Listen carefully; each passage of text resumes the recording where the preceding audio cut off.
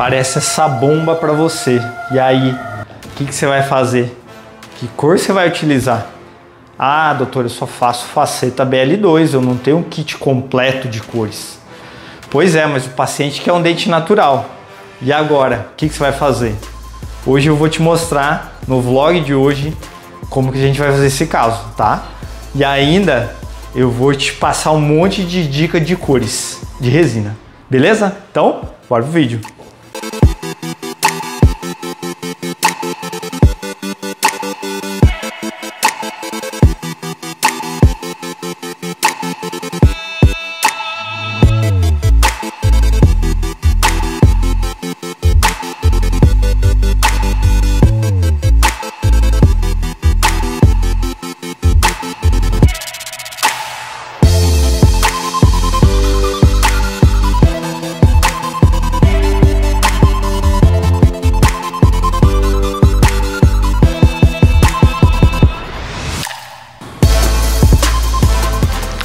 Parece essa bomba no seu consultório. E aí você pensa, e agora por onde eu começo? Vou ter que fazer tudo numa sessão. Eu vou começar às 8 horas da manhã e terminar meia-noite, né?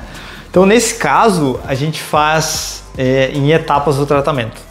Esse caso super complexo que vocês vão ver essa semana é uma cliente que ela veio de fora do país, ela veio de Londres e ela chegou com os dentes quebrados. Então a urgência dela era restaurar esses dentes da frente.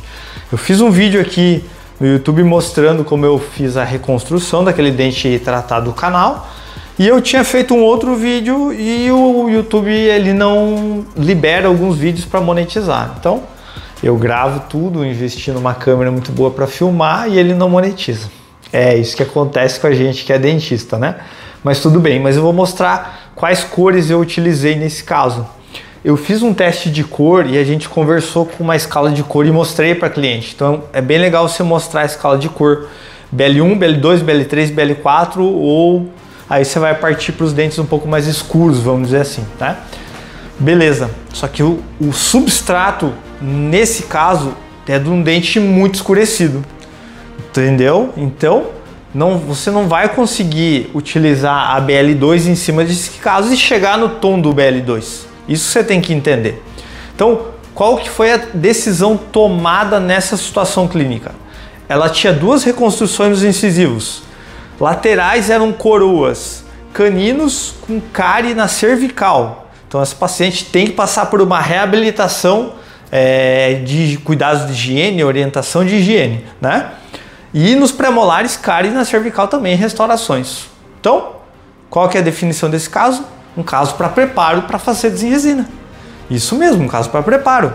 E aí eu fiz um teste de cor com a BW da Chufu, que seria uma resina com liberação de íons. Seria uma resina muito legal de utilizar nesse caso. E eu ia utilizar uma fina camada dela e ainda finalizar com a M, com a WE da Palifica LX5, poderia ser, né? E a gente iria fazer aí um, um BL3, BL4, né? Chegaria nesse tom aí porque era muito escurecido. Mostrei para ela, ela falou: "Não, doutor, ficou muito claro. Eu não quero isso. Eu quero super natural". Então, esquece essas cores aqui. Que cores seriam para a gente conseguir um resultado bem natural nessa situação clínica? Você poderia estar utilizando essa BW da Gradia ou a BW da Palific LX5, tá? Seriam resinas que poderiam ser indicados. É, mas o substrato dessa paciente é muito escurecido.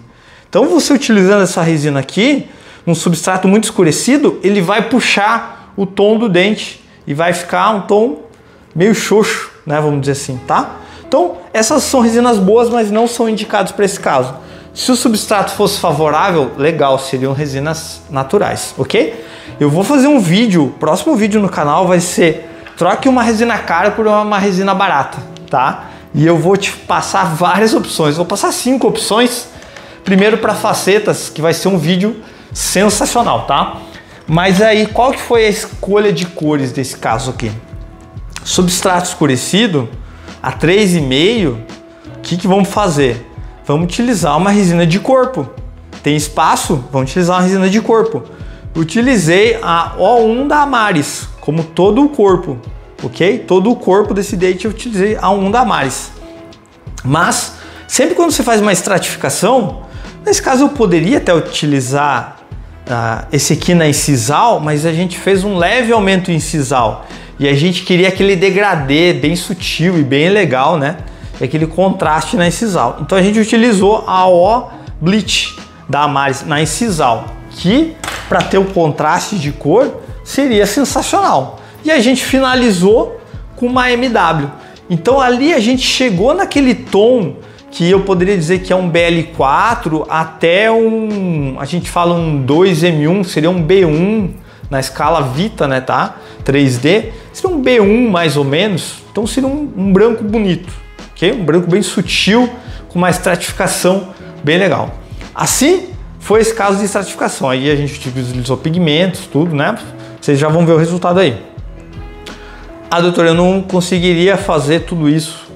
Você poderia estar utilizando uma resina BL uh, eh, da Empress só de esmalte tá? Mas mesmo assim ia puxar o fundo, né?